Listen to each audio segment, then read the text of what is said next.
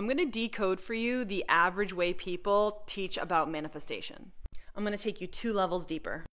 The normal advice is to say what you want, believe it can happen, and allow it to come. This for me is too high level. We need to know what we want, and here's how to know that. First, start off what you don't want or like in your life. Like if you are feeling like, God, it's a struggle to grow my business.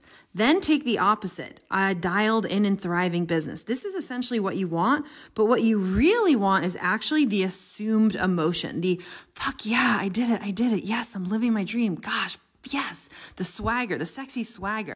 Telling somebody to just believe is so funny. It's the fine print. If you believed it, you'd have it.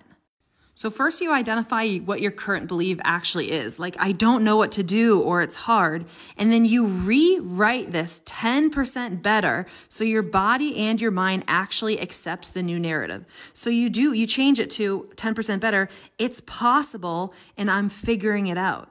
Then you have to be in the allowing mode.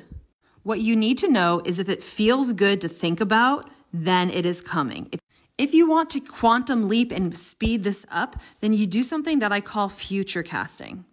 Remember the original assumed emotions of your goal? Fuck yeah, fuck yeah, I did it, I did it, I did it. We bring those down here and we practice that fuck yeah emotion hardcore for at least a minimum of 20 minutes a day to build it in our bodies.